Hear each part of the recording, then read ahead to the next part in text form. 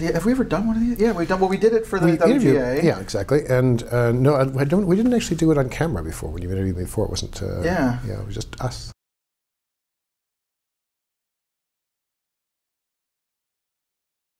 It hadn't occurred to me until actually literally two minutes ago, looking at your IMDb page, that it's now a decade since Crash. Yeah, isn't that kind of cool, isn't it? Does it seem like a long No, time ago? Does it seem like another life, or No, I mean, it just it's very fresh. It's, it's just just the other day, Hmm. um, and yet it seems a lifetime. Yeah, both. well, the exposure of it and kind of the constant uh, publicity of it. I mean, you went Yeah. through this the award season, which is always fun, um, and then all the the accolades, the endless accolades. I mean, does it feel quieter since then? Does it feel like you're kind of like more going back to? No, I just feel like doing your work. Well, because you never expect that kind. We didn't expect it with Crash. I, I, none of us expected. It's a small. It was like this. It's a small movie, and I was lucky enough to get some wonderful actors, and it got attention. So you know, you don't expect it, and so it's a little unsettling actually when it happens, and um, also because people then imbue you with certain things. That after that, I was a big Hollywood director. I went, really? I made a movie for six and a half million dollars. I begged. I, I, I got paid nothing. The actors got paid nothing. Where did I get to be a big Hollywood director? And so then I, I purposely made choices after that to do films that I really wanted to do that that uh, um, uh, weren't all the, the movies that you know studios were chasing me to do or my agents were suggesting I do or that. I just did what it was in my heart. And then you do something to make some money. and and luckily I made good choices there too. The films like Casino Royale and and the, the two ones I wrote for uh, for Clint Eastwood. And they're- terrific. So those are those completely different experiences for you in terms of because you did a, I mean that Mm-hmm. Then do it because you've done pretty much a film every three years It's been kind of your cycle. It's been like five years between the, the next three Really? days. Well, between, I guess by the time it came out, no, because I started this. I started this while I was actually still shooting it. Ah. Uh, so it in the last weeks of shooting, uh, uh, the next three days is when I started this. Because that's when Moran came to me with the idea for this, and so it stuck with me. So as I was doing post, I was already thinking about this and working on this. Uh, so yeah. so is the experience very different than doing something like Casino Royale where you're Oh yeah, that was fun. That was just straight just easy, fun. fun. It wasn't easy, but it was a lot of fun, and I, I loved writing that. And and I wrote it all backwards. I started with Act Three, and then Act Two, and then Act One, and uh, because I needed to know where it was going to go, and wrote very quickly. It was like twelve weeks of, of work, and. Uh, and that was it. And I had a, a director who just wouldn't change a word of my script, which was wonderful, and some really supportive, supportive producers, and, uh, you know, and Barbara and Michael. So uh, that was just. This was more torturous well, well, I mean, not to obsess on Casino Royale, but were you guys looking at that point to a three, four movie arc with a character? Did No. it really change the Bond franchise? No, no, they were, they were just looking to, to reinvigorate it, and, and I thought, okay, well, I can just, what I'll do is I'll just dig into Bond and ask the same questions of him that I'd ask of any other character, and not think of him as this archetype who'd perhaps become a bit of a stereotype. You know, just, just think of him as a flesh and bone character and ask the same questions that that, I- that I would uh, approaching any character or any screenplay. Um, what's it like to be an assassin? How do you really kill? Do you kill, kill with a laser, shoot a shot from the moon, and say a smart line, or do you kill somebody up close with a knife and get blood all over you, and and, uh, and that and that permeates through whatever armor you've you've wrapped around your soul, and it affects you forever. And what's it like to, you know, and then I'd ask questions like, okay, what's with Bond and women? Well, you know, something must have really happened to break his heart. He must have opened himself up hmm, wonder how I can do that. you know? and uh, you know, and what's it like to you know this whole I've got one scene to make these two people fall in love. And okay, why do I fall in love? Well, one of the reasons is if somebody sees right through me and accepts it, and so that's the the train scene. You know, they just see through each other. They go, wow, there's something there. It was ironic that this film, the new film, is a little bit more kind of having fun with sex and Mm-hmm. romance. the Bond film, which is where you expect it to be all jaunty. Yeah, I, mean, I want this to be a very romantic film. At the same time, you know, these these are pretty, some pretty tortured characters uh, who are reaching out for each other and pushing each other away and and, and, and dealing with the bounds of, of and the boundaries of, of love and trust and betrayal and and uh, and also, which was really interesting to me, exploring the creative process itself. Uh, because Liam's character really goes through the same arc that I went through while writing this film, as I kept trying to push it in this direction, and yet the characters tried trying to lead me someplace else, and I didn't know where they were taking me.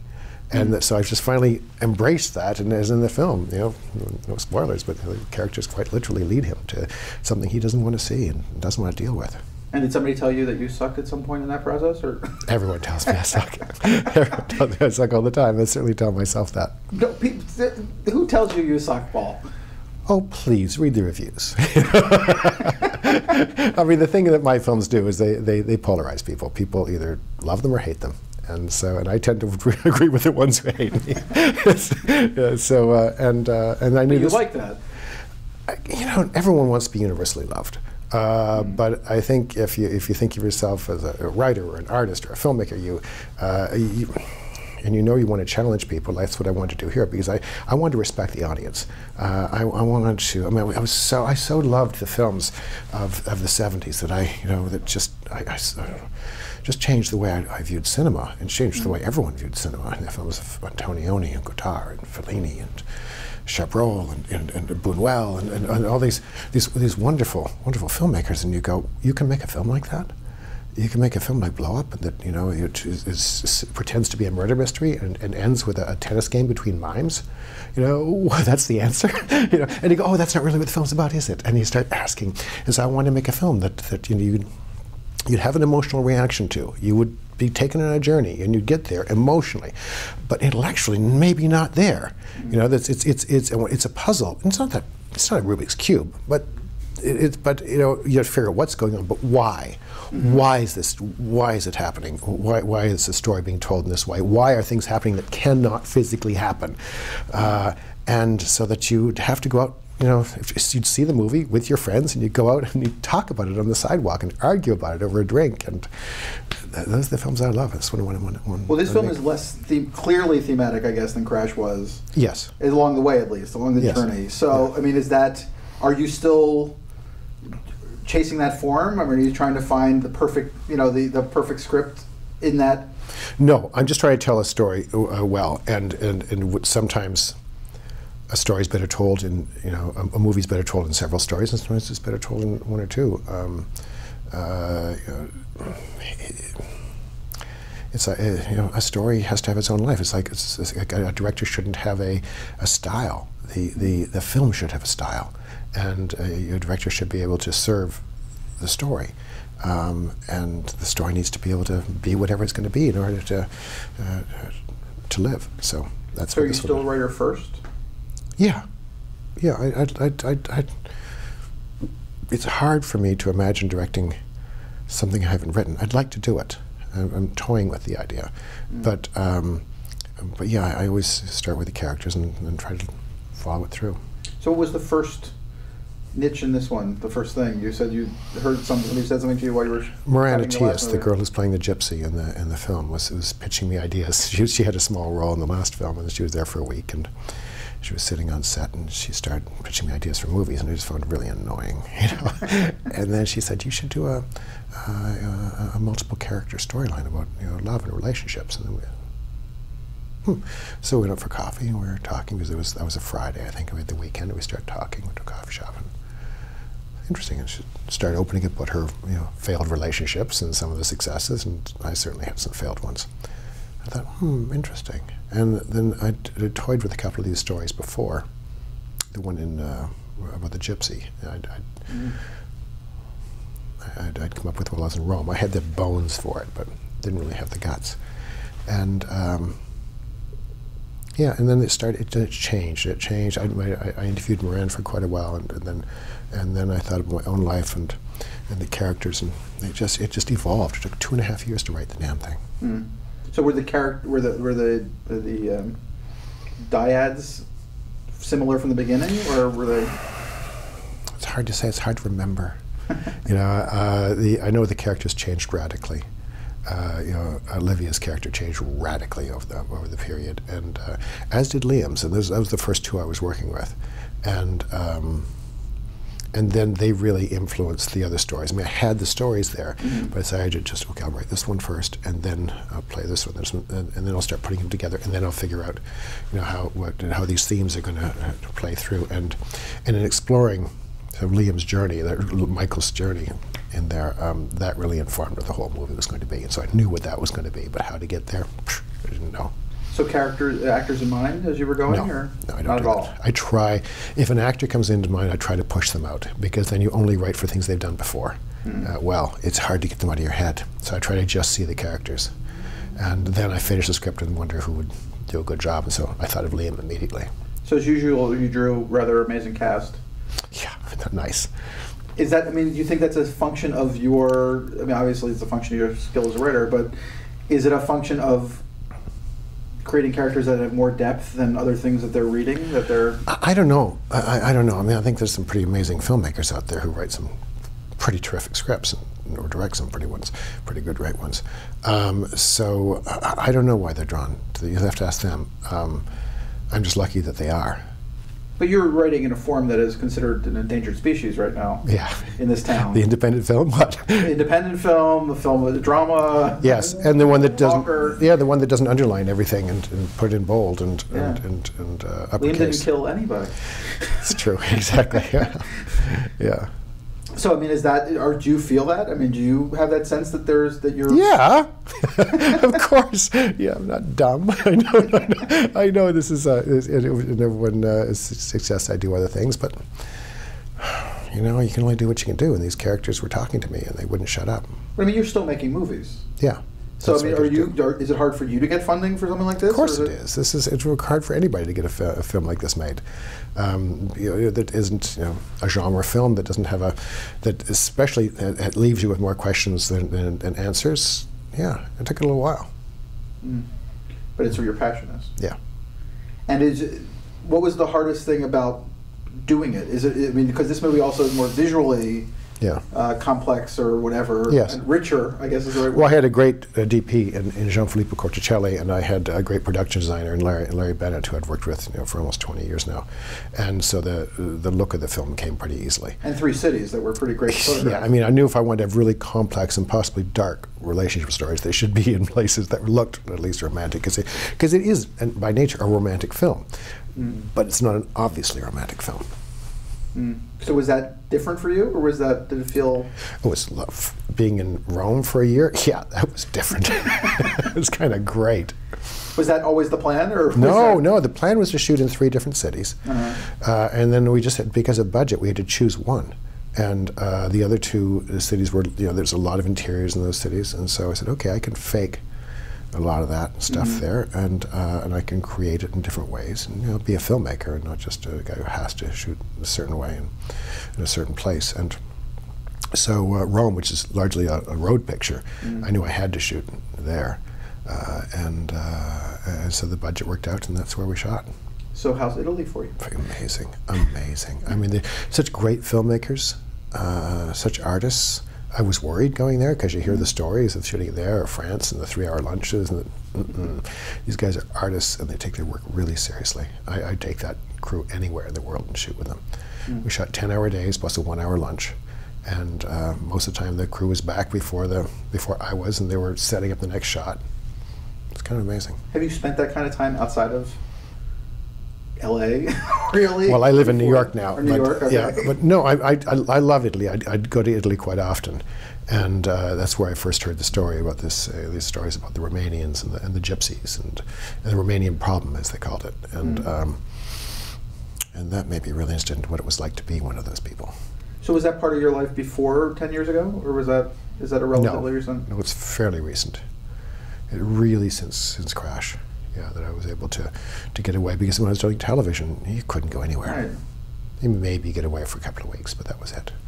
So it was wonderful to be able to go for a summer, you know, and spend a summer in Umbria and write and take your family and your friends and have them come visit. And it was, it was great. Well, you could create your Game of Thrones and go make it in Italy. That's true. Ireland. Yeah, it's true. Well, now you can. Back Yeah. then, no. Now, back then, you couldn't shoot anything out of outside of America. You could barely shoot in Canada for a TV series, but from back in those days. No, Well, Crash was you did you were involved with the Crash series to some degree, yeah? You know, not a lot. I, I, uh, uh, I was an executive producer on it or something, so I guess I, I helped. I didn't write. I, I, I helped with some of the editing. I helped with some of the casting. Uh, that was it. That's where I met Moran, who played the Mm. gypsy in that role. But really, at the very beginning of the wave of evolving television, as I guess people are now thinking of it, Yeah. It was a little before its time in a, in a funny way. I don't know. I mean, I, I was back doing EZ Streets way back when, when it was, you know, that was the first time I'd, way before 24 or any of those ones that, you know, it was one story for, for, for the entire year. And CBS kept saying, um, Paul, you need to close the stories every week. Yeah, yeah, that's a great idea. I just can't do it. Mm. that's why it lasted a full week, that, that, uh, that series. So have you considered television? oh, yeah, I'd love to do television. I'd love to, I'd love to try to do television again. Is it a very different experience for you? Yeah, because you, I mean, not necessarily the shooting of it, but the fact that you have to write that many hours that you have to, uh, I mean, it depends where you do it. If you're doing 10 episodes a year or if you're doing, you know, 20, it's a very different thing. It's, mm-hmm. uh, um, but I love living with characters for a long time, so television itself is fun because historically you're kind of one of the few guys who yeah. has done gone both ways and had great success in both, and then well, I don't know if I had great success in television. I probably didn't. I, you know, I was I was attached to some really cool shows, thirty something shows like that. Which, uh, uh, but really, the more I had to do Walker with Texas Ranger, importantly, yeah, exactly. The, the, the, which proves the less I have to do with a TV series, the the, the, better it, it is, and the longer it lasts. Uh, I was involved with Walker Texas Rangers for three weeks. I wrote, I rewrote the pilot. That was it. Gave it to them. Went off. My name was on it for ten years. and people love you for it. Yeah. it's one of the great. You and Chuck are like this. Yeah, they're still using. I, I met Chuck once. I said, "Hi, Chuck. Uh, nice to meet you." And he said, "Hey." And I told him what I was doing. He said, "Great." And that was it. It was a half an hour meeting. So, have you acquired a, a taste for actors over all this time? Because I love actors. I love working. Did you always actors. love actors, or is it something that? No, I've, al I've always admired them. When I was working back in the in the theater, when I was, you know, uh, uh, gosh, when I was twenty, you know, I, I just, uh, I just really admired. Uh, was curious about how they got to their uh, to, to those performances, their, their craft. I, I was I really admired them, and so uh, uh, yeah, it's, it's, it's, a great respect that they're due. Have you solved that puzzle over these years, or no. is it? It's no, ongoing? I'm still still a puzzle. You always have to figure out what an actor needs, and you have to figure out how to give it to them, and you've got about 30 seconds to figure out what they need. Because you give it to the wrong thing, they're going, yeah, yeah. But you know, I do know that you you can't lie to an actor. It's mm -hmm. the one thing you can never do. You, that you need their trust. And so if they ask you a really difficult question, you have to answer it. So is posting a movie like this difficult? I mean, it's a complicated yeah. movie. Yeah, I mean, I, I, I cut the, uh, did my director's cut in New York where I live, and then uh, went off to Belgium where the financiers were, Corsan were financing this, and uh, uh, where we had to do a lot of post. And so finished cutting it there. And how was Belgium for you? Antwerp was really great. It was beautiful. I'd never been there before. I had a great time. Um, I like this idea of you being the, you know the quintessential Valley guy from Crash. That's what everybody thinks about, and then you're yeah. you're a globetrotting filmmaker. This is actually a Belgian film. Yes. Huh. Yeah. So you were so Antwerp was great for you. Yeah, I loved it. Yeah. And so you, I mean, are you now going to become like Woody Allen and do a film in every different country, or? I, I, don't even know what, I don't even know what my next film is. So uh, I, I, would I would love to do films in beautiful places. It would be great. Um, but uh, I mean, I was I, it, I, it was a conscious effort to type to type exterior Rome Day rather than exterior Albuquerque or Pittsburgh or, or any of the wonderful wonderful places I've shot. But it's like, oh, okay, I'm going to go live in Italy for a year and eat great food, and drink great wine, and live in a place I've always wanted to live. So was cutting the movie difficult because of the movie, or did you? Well, because the first the first assembly was over three hours long, and a lot of it I actually loved the performances were great. The scenes were wonderful. These actors brought to life. So. Well, I did think watching the movie, you could almost do a movie of almost any one of the. Oh yeah, yeah, yeah. I, you actually could, and and uh, maybe I should have, uh, but uh, no, it, it, was it was hard, really hard because there was so much I had to lose that I didn't want to lose. Mm. So how did that end up breaking for you? I don't know. I you like just it. Kept it, on wheedling it down, yeah, wheedling it down. Yes, and saying, "Can I live without this?" You know, or what if we took this out and would it still stand? And it did. And I go, okay. it was usually, I think, the shorter the movie, the better. In this case, the movie's over two hours, but it felt. It, I go by the way a movie feels. It didn't feel long to me. It felt like the characters you know, kept evolving and following it. So, uh, um, actually, I took it to Toronto and screened it there, and then didn't like that I'd cut too much out of the ending. I'd, I'd been hmm. convinced that it was the ending was too confusing and to take some elements out. I said, no, I got to put it back in. So I went back into the editing room, and they, they, they allowed me to do that and mm. opened up the, the last reel and, uh, and added some things back in that, you know, are confusing, yes. But, you know, I think it's more emotionally uh, mm. impactful, and people get it. It's interesting. Toronto seemed to be a big unedited festival this year. It was very last year. Yeah. It's interesting. There are a few films that came out of it and really had significant changes. Mm. Uh, probably the most dramatic being the movie that was two movies that they made into one movie. Ultimately, cut it together. Which was this? It was. Um, uh, the hell was it called? It was the him and her version of. It was, it was Jessica Chastain and Hmm. uh, and. Uh, Oh yeah, which I hear is really Yeah. interesting. Yeah, I mean, Yeah. it was an interesting experiment. The first, I thought it needed to be edited significantly myself, so I wasn't upset that they cut it together, and I Mhm. think it works better as a movie together. Mhm. But it's like very different uh, film, Mm. you know, just from those from that kind of mushing together the two stories and Mhm. not trying to, you know, he said she said kind of thing. Right. So, but it was. It's odd now because you go to film festivals and it feels like somehow the movie is supposed to be completed and ready to open the next Well, week. it was. It was. We thought it was locked. The picture was locked, and then I saw it, and I went, uh, you know, I'm going to change the ending. And the financiers and the producers said, Paul, Paul, the movie's locked. I went, yeah, yeah, yeah. No, I know that. I completely know. But now I'm, I'm, I'm going to change the ending. They went, Paul, the film is locked. It was, oh no, I completely appreciate it's locked. But now I'm, I'm going to open it up and change the ending. He went, um, and finally, so Sony gave me enough money, and, and uh, Corsan stepped up, and we got a little bit of money, and Did you watch it with an audience there? Is that yeah, what convinced yeah. you? Was yes, no, no. The audience didn't convince me. Me, I just watching it going. I, because the audience didn't know what, I- what I'd taken Right. out, and uh, it was a good reaction. But the reaction at Tribeca much better. That was that was the uh, Mm. with the new ending. Is that that must be a big change? I mean, I know with the Crash, you were at Toronto, and then it was like a year later. Yeah. The movie finally opened. Well, that's what happens when you take movies to Toronto. See, if you don't haven't sold them, people say, "Oh my God, it's so long; it must be a stinker," or whatever has going on. But what happens is, if you take a movie to Toronto, you can't open by the end of the year. Mm. It takes you six months for the long lead press and things like that. So there's just Mm-hmm. not. So if you don't open before the, I think it's happened once, but something for Warner's fell out, and so they grabbed Warner, Right. stuck it in. But very rarely, if you Yeah. sell your movie at a festival, and it's Toronto, you're going to be out the next year. the Aronofsky movie, I think, was the one that squeezed in under the Yes, wire too. Yeah, exactly. And the so mine, uh, uh, like Crash, we took it September. It came out in April. This one, you know, we were looking at the April slot, but it was too busy, so we came out now. So And is all that? Are you very conscious of all of that in your work? When I'm shooting, no, uh, no, no, no, not at all. Uh, you shoot when you can shoot and when your actors are available, and Right. that's it. When you get the money and your actors are available, and then as you're starting to figure out the post schedule, they look at what festivals coming up, and I like Toronto, but but it is tough, you know, doing taking a film there and coming out the next year. But are you business oriented in terms of like, these are the slots that I think are good, or no, I prefer no, this? I or- don't. I don't know anything about that. No, I, I, I, I argued that, that that Crash should come out uh, like like we're doing this. It should come out in two cities. It should come out in New York and L.A. Mm-hmm. and should be platformed. And they said no. And I said okay, do what you like. And so they came out wide or fairly wide. And thank God because we got two terrible reviews on Crash, New York and L.A. Mm. You know, and if it hadn't been from the national press, which loved it, uh, that movie would have died the first week. That would it. And the actors really, ultimately, in terms of the award season, are it's seems like so long ago. It was so long ago, but I remember that whole drama. The you know people getting fired because the movie wasn't going anywhere. And then Which was this? or, Cr- Cr- Crash. I remember that's December. That I think believe your uh, your awards consultant was dropped. at really? One point. Yeah. I wasn't aware of this. Who was our awards consultant? Cynthia Swartz. I didn't even know this. Yeah, that she was dropped because they were decided it wasn't going to make it, and then it made it with Oh no, kidding! everything else. and Oh wow, I wasn't aware. I, I Huge was, success happened. I was so out of the loop on all that. Huh. You know, I just it didn't. uh, It, because as far as awards, I, I was like, what?